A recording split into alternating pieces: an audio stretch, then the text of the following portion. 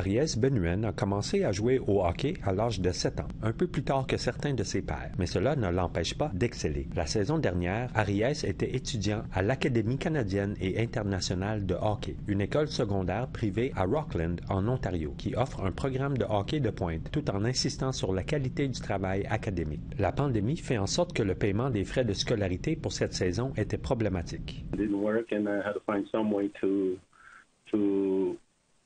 To to find the money, I guess, uh, and send him out because I told I I made a promise to him there when I, uh, years ago that I will I will try to everything I can to help you get a good education, right? So Ariès a suivi son grand-père pas à pas, tout au long du périple, et il apprécie que son aïeul lui ait donné cette chance de jouer au hockey tout en tenant sa promesse. I want to thank my grandfather and grandma for doing the fundraiser and the walk for me. I grew up to hockey. My whole family played hockey, and like like most of the reserve plays hockey. It's the most, popular sport in our reserve.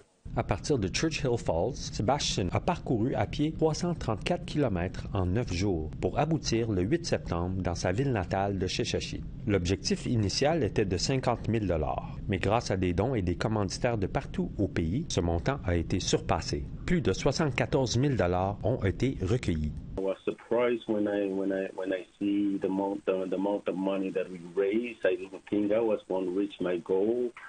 And it was so emotional when my sister was telling me that this is the this is how much we made and uh, I couldn't even describe how uh, how I felt because uh, I was uh, almost uh, cry at the time.